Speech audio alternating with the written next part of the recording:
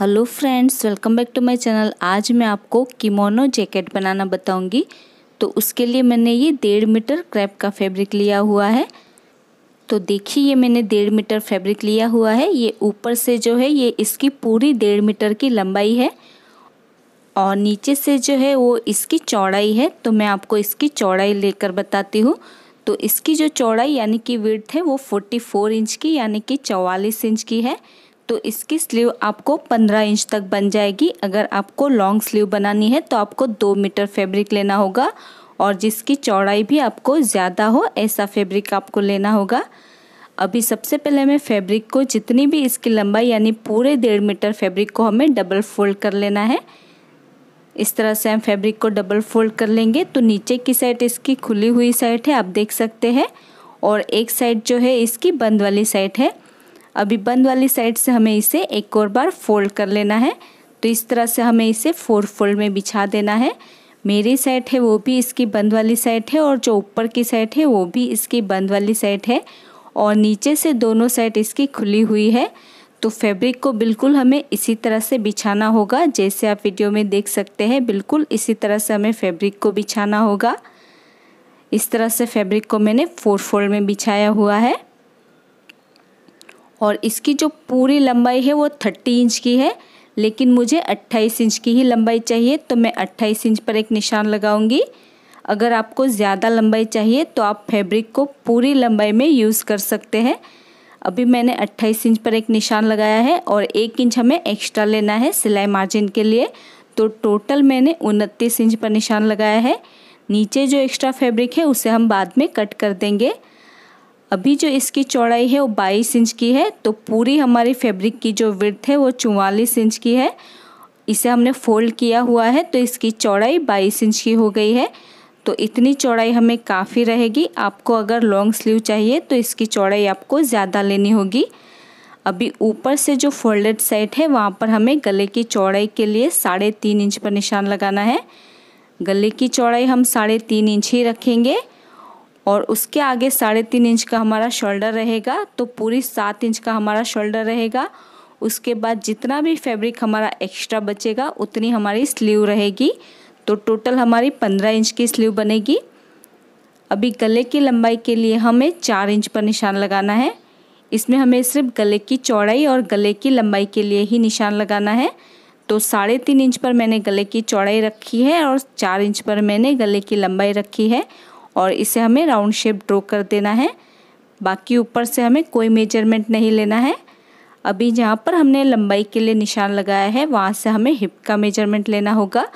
तो हिप की चौड़ाई के लिए मैंने 10 इंच पर निशान लगाया है और एक इंच हमें एक्स्ट्रा लेना है सिलाई मार्जिन के लिए। तो आपकी हिप का जो भी मेज़रमेंट हो, उसका चौथा भाग करना है और उसमें एक इंच ऐड कर देना है सिलाई मार्जिन के लिए। तो मैंने 11 इंच पर निशान लगाया है।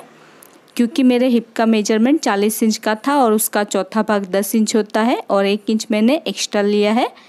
अभी ऊपर से जहाँ पर इसकी खुली हुई साइड है, वहाँ पर हम स्लीव के लिए निशान लगाएँगे। तो स्लीव की चौड़ाई के लिए मैं आठ इंच पर निशान लगाऊँगी, क्योंकि ये स्लीव हमारी थोड़ी खुली खुली ही रहती है, इसलिए हमें आठ इंच पर निशान लगाना है। अभी जो हमने आठ इंच पर निशान लगाया है, उसके अंदर हमें छः इंच पर एक निशान लगाना है। इस निशान का हमें कोई मेज़रमेंट नहीं लेना है, बस ऐसे ही हम छः या सात इंच पर निशान लगाकर एक लाइन ड्रॉ कर लेंगे। ये हमारी स्लीव की लाइन होगी। इस तरह से हमें सीधी लाइन ड्रॉ कर लेनी है। अभी जो हमने लाइन ड्रॉ की है, उस लाइन को हमें नीचे तक, यानी कि जहाँ पर हमने हिप का निशान लगाया है, वहाँ तक हमें तिरछी लाइन में ड्रॉ कर लेना है। जैसे आप वीडियो में देख सकते हैं, बिल्कुल उसी तरह से हमें नीचे तक लाइन ड्रॉ कर लेनी है।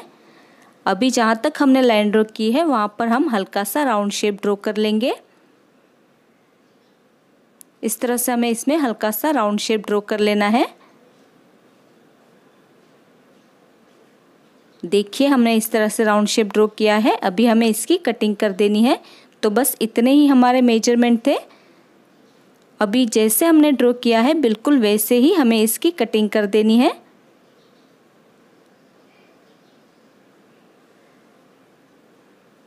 अभी ये जो हमारा एक्स्ट्रा बचा हुआ फैब्रिक है, इसकी हम बाद में पट्टियाँ कट कर लेंगे। तो देखिए, मैंने कटिंग कर ली है।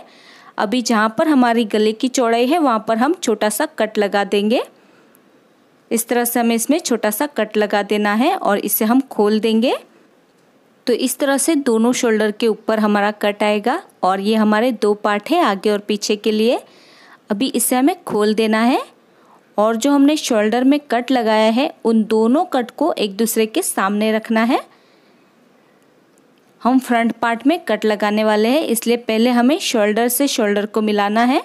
दोनों कट को एक दूसरे के सामने इस तरह से रखना है और एक पार्ट हमें इस तरह से फोल्ड कर लेना है। एक पार्ट हम ऊपर को कर लेंगे और एक पार्ट हमें इस तरह से डबल फोल्ड कर लेना है। ये हमारा फ्रंट वाला पार्ट रहेगा। इस तरह से हमें फ्रंट पार्ट को डबल फोल्ड कर लेना है। देख सकते हैं, इस तरह से मैंने इसे डबल फोल्ड किया हुआ है। उसके बाद जितनी भी हमने गले की चौड़ाई रखी थी, वहाँ पर हमें निशान लगा देना है।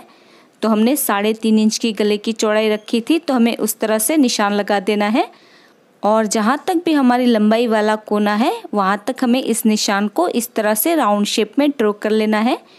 तो ध्यान रहे, ये निशान हमें फोल्डेड साइड से, यानी कि बंद वाली साइड से ही लगाना है। देखिए, इस तरह से मैंने राउंड शेप ड्रॉ कर लिया है। अभी हमें इसे कट कर देना है। तो ये हमारा फ्रंट वाला पार्ट रहेगा। और इसका पूरा शेप कुछ इस तरह से नज़र आएगा। ये फ्रंट वाला पार्ट है और पूरा शेप ऐसे आपको नज़र आएगा। अभी जो भी हमारी स्लीव है, उसकी जो बॉर्डर है, उसे हमें डबल फोल्ड करते हुए इसमें सिलाई लगानी है। इस तरह से हमें स्लीव के बॉर्डर को डबल फोल्ड कर लेना है और इसमें सिलाई लगा देनी है। दूसरी साइड पर भी जो स्लीव वाला पार्ट है, उसकी बॉर्डर को हम डबल फोल्ड कर लेंगे और इसमें हमें सिलाई लगा देंगे। तो देखिए, मैंने इसमें सिलाई लगा दी है दोनों ही स्लीव के ऊपर। अभी इसे हम, जो हमने कट लगाया है, वहाँ से पकड़ते हुए इसे फोल्ड कर लेना है और साइड में हमें सिर्फ़ एक इंच का गेप रखते हुए इसमें सिलाई लगा देनी है दोनों ही साइड से। तो देखिए, मैंने इसमें सिलाई लगा दी है। अभी जहाँ पर हमारा स्लीव वाला राउंड वाला पार्ट है, इसमें हमें छोटे छोटे तीन से चार कट लगाने होंगे, क्योंकि ये हमारा राउंड वाला पार्ट है। तो इसे अगर हम सीधा करेंगे तो कट लगाने पर ही इसकी फिनिशिंग बहुत ही अच्छे से आती है। आप देख सकते हैं, बिल्कुल इस तरह से हमारी अच्छे से फिनिशिंग आएगी कट लगाने से। तो कट लगाना बहुत ही ज़रूरी है। इसी तरह से दूसरी साइड पर भी जो हमारा राउंड वाला पार्ट है, वहाँ पर हम तीन से चार कट लगा देंगे। और कट लगाएँगे तो आप देख सकते हैं इसकी फिनिशिंग कितने अच्छे से आई है। अभी हम इसमें पट्टी अटैच करेंगे तो जो हमारा एक्स्ट्रा बचा हुआ फैब्रिक था, ये हमारा एक्स्ट्रा बचा हुआ फैब्रिक है और ये फोर फोल्ड है तो इसकी हम पट्टियाँ कट कर लेंगे।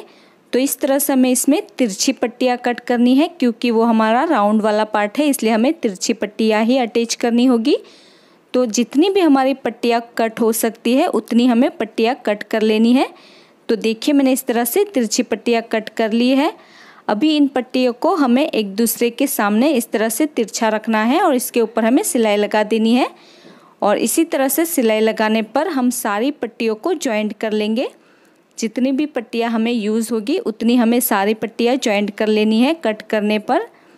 तो देखिए, मैंने पट्टियों को जॉइंट कर लिया है। अगर ये पट्टी हमारी कम पड़ेगी तो हम और भी पट्टी कट कर लेंगे।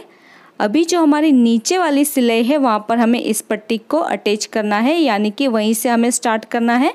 तो पहले पट्टी की बॉर्डर को हम फोल्ड कर लेंगे, उसके बाद हम इसे डबल फोल्ड कर लेंगे। और इस तरह से हमें नीचे से पट्टी को लगाना स्टार्ट करना है। तो चलिए मैं आपको मशीन पर बताती हूँ। तो जहाँ पर हमारी नीचे वाली सिलाई है, वहीं पर हमें पट्टी को पहले फोल्ड कर लेना है। उसके बाद हम इसे डबल फोल्ड कर लेंगे और नीचे वाली सिलाई से ही हम पट्टी को लगाना स्टार्ट करेंगे। तो इस तरह से हमें पट्टी को डबल फोल्ड करते हुए सीधी साइड से ही रखना है। ध्यान रहे, ये पट्टी हमें सीधी साइड से ही लगानी है। उसके बाद जितना भी हमारा राउंड वाला पार्ट है, वहाँ पर हमें पट्टी को इस तरह से डबल फोल्ड करते हुए जाना है और इसमें हमें सिलाई लगाते जाना है। ऊपर की तरफ़ जो गले वाला पार्ट है, वहाँ पर भी हम पट्टी अटैच करेंगे। ये आप देख सकते हैं शोल्डर पर हमने कट लगाया था तो बिल्कुल शोल्डर पर भी हमें इस पट्टी को अटैच कर लेना है। इस तरह से पट्टी को डबल फोल्ड करते हुए हमें इसमें सिलाई लगा देनी है। दूसरी साइड पर भी इसकी नोच है, उसे भी हम पट्टी के नीचे दबा लेंगे।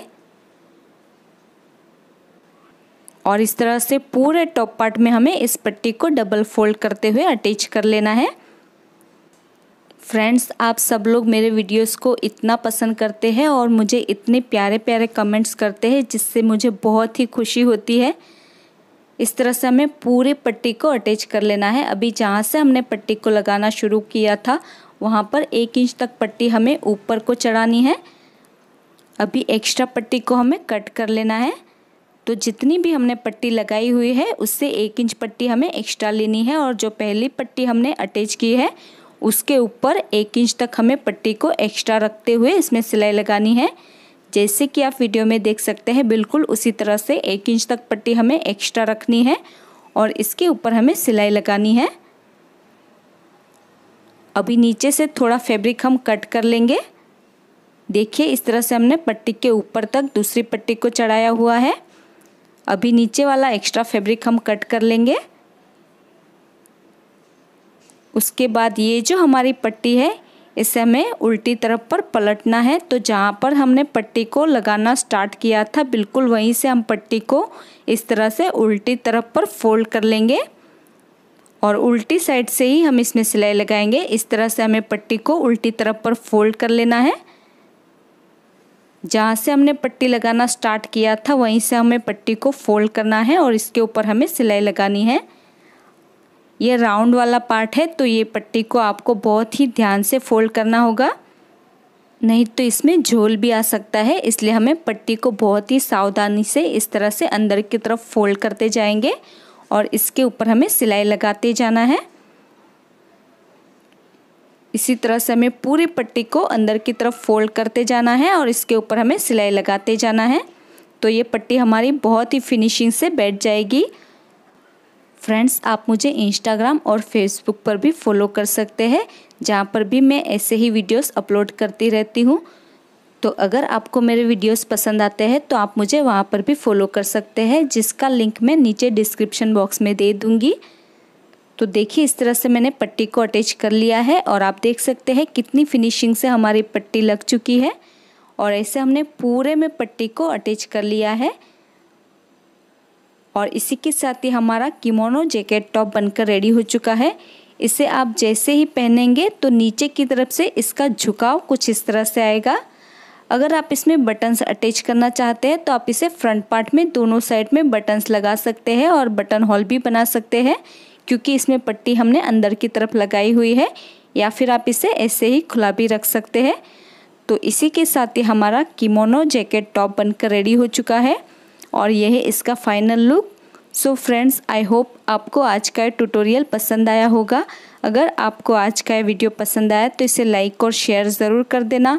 और अगर अभी तक आपने हमारी चैनल को सब्सक्राइब नहीं किया है तो प्लीज़ इसे सब्सक्राइब कर लीजिए। और साथ में उस बेल आइकन को प्रेस करना मत भूलिएगा ताकि आपको हमारी आने वाली वीडियो की नोटिफिकेशन सबसे पहले मिल सके। और आपको ये वीडियो कैसा लगा मुझे कमेंट करके ज़रूर बताइएगा। मेरा ये वीडियो देखने के लिए thank you so much guys